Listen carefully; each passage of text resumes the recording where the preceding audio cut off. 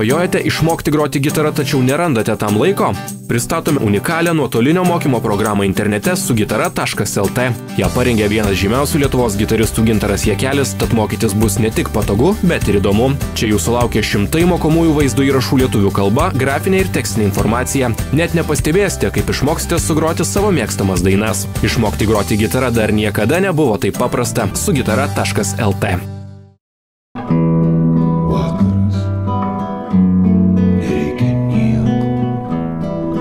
sėdėti ir žiūrėti, kaip ta saulė mus palieka. Ir lyg vakaras žiūrėti. Ir matyti, kaip upė klausos, atsispindi ir lanka. Ir kai žemė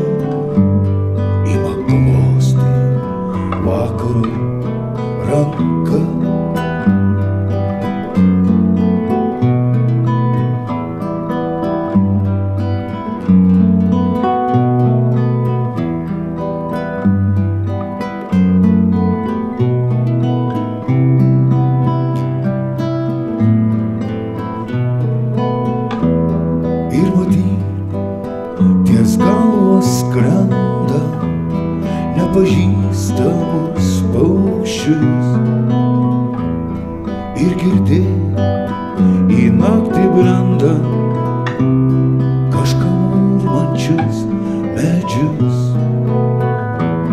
Taip sėdėti ir žiūrėti be jokios, jokios minties ir jau nieko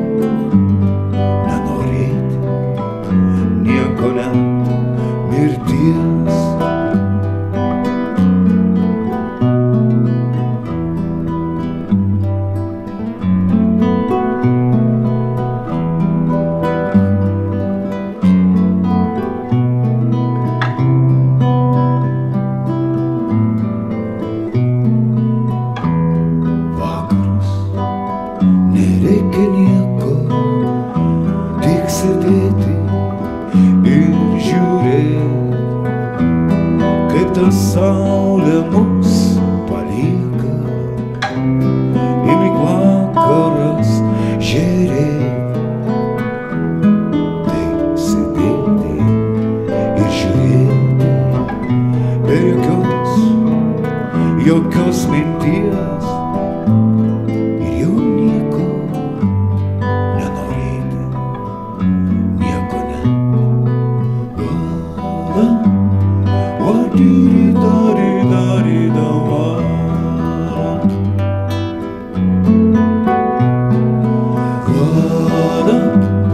What do you know?